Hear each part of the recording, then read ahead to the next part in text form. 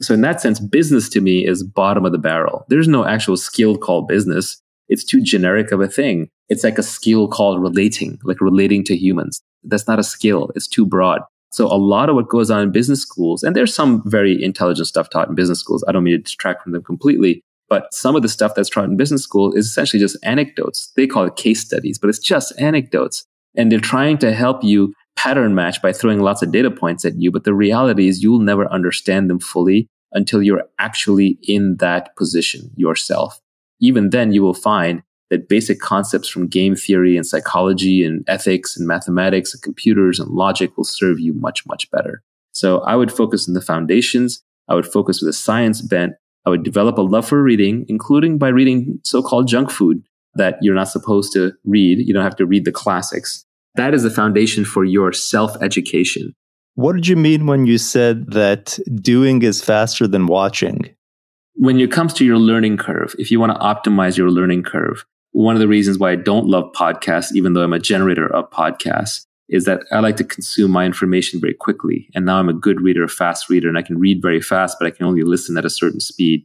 I know people listen to 2x, 3x, but everyone sounds like a chipmunk. And it's hard to go back. It's hard to highlight. It's hard to pinpoint snippets and save them in your notebook and so on.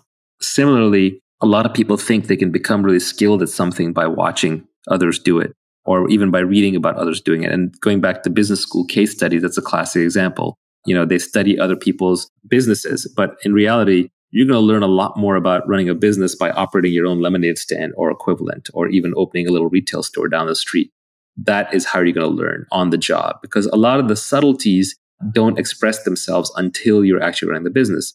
For example, everyone's now into mental models these days, right? You go to Farnam Street, you go to Poor Charlie's Almanack, and you can learn all the different mental models. But which ones matter more? Which ones do you apply more often? Which ones matter in which circumstances? That's actually the hard part. For example, my personal learning has been that the principal agent problem drives so much in this world. It's an incentives problem. You know, I've learned that tit for tat, iterated prisoner's dilemma, is the piece of game theory that is worth knowing the most. You can literally almost put down the game theory book after that.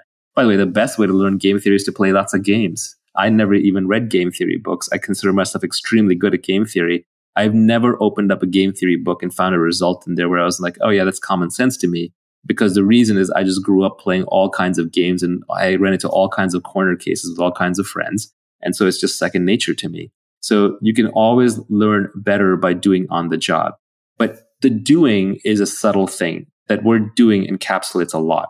So, for example, let's say I want to learn how to run a business. Well, if I start a business where I go in every day and I'm doing the same thing, let's say I'm running the retail store down the street where I'm stocking the shelves with food and liquor every single day, I'm not going to learn that much because I'm repeating things a lot. So I'm putting in thousands of hours, but there are thousands of hours doing the same thing. Whereas if I was putting in thousands of iterations, that would be different. So the learning curve is across iterations. So if I was trying new marketing experiments in the store all the time, I was constantly changing out the inventory. I was constantly changing out the branding and the messaging. I was constantly changing the sign. I was constantly changing the online channels that I was used to drive foot traffic in. I was experimenting with being open at different hours. If I even had the ability to walk around and talk to other store owners and get in their books and figure out how they're running their business, it's the number of iterations that drives a learning curve. So the more iterations you can have, the more shots on goal you can have, the faster you're going to learn. It's not just about the hours put in.